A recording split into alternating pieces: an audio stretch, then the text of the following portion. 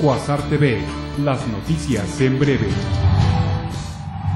Padres de familia del grupo disidente de la Nueva Jerusalén advirtieron que no hay solución en la comunidad, no están de acuerdo con enviar a sus hijos al poblado de la Injertada y no lo harán, anticiparon. Este mediodía ofrecieron una rueda de prensa para ratificar su postura. El PRD se dijo preocupado porque no ha visto una respuesta acertada ni solución al problema en la Nueva Jerusalén por parte de las autoridades estatales. Víctor Baez, líder estatal del Sol Azteca, recordó que la educación es un derecho inalienable consagrado en la Constitución que el gobierno del Estado está obligado a garantizar, incluida a la ermita, y no lo ha hecho. Unos 300 padres de familia paralizaron clases en la escuela primaria Ignacio Zaragoza de la comunidad de la Junta, municipio de Angangueo. Protestaron porque los profesores obligaron a los niños a asistir a clases por la tarde, mientras ellos se van a atender dobles plazas por la mañana. Alertaron que sus hijos corren riesgo hasta secuestro porque salen de noche y tienen que caminar entre parajes para llegar a sus casas.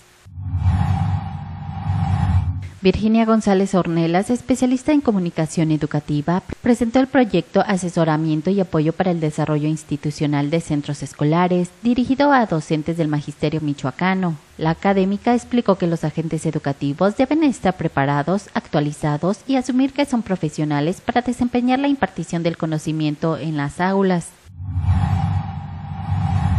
El Poder Judicial de Michoacán integrará a 20 mediadores conciliadores quienes atenderán los medios alternativos de resolución de procesos penales, así lo anunció Pilar Chávez, directora del Centro de Meditación y Conciliación del Poder Judicial del Estado. Evaluó que el 90% de los delitos menores, así como homicidios culposos que se cometan, se resolverán por medios alternativos en el nuevo sistema de justicia penal, el otro 10% será resuelto por los jueces de oralidad. Roberto Monroy, secretario de Turismo de Michoacán, anunció la reapertura de la ruta aérea Morelia-Monterrey. Los primeros vuelos iniciarán el próximo 3 de septiembre. El funcionario confió en que la reanudación de esta vía aérea aumentará el número de visitantes del norte del país a Morelia y conectará a estas dos ciudades diariamente. El costo del vuelo viaje redondo será de 4.600 pesos. La Secretaría de la Reforma Agraria inició la capacitación de técnicos que se encargarán de instrumentar los proyectos de desarrollo agrario para campesinos de Michoacán. La capacitación iniciada la mañana de este miércoles durará tres días.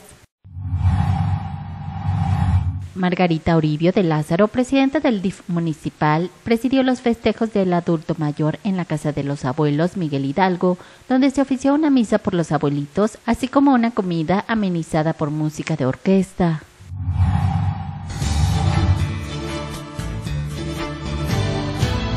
Cuasar TV, las noticias en breve.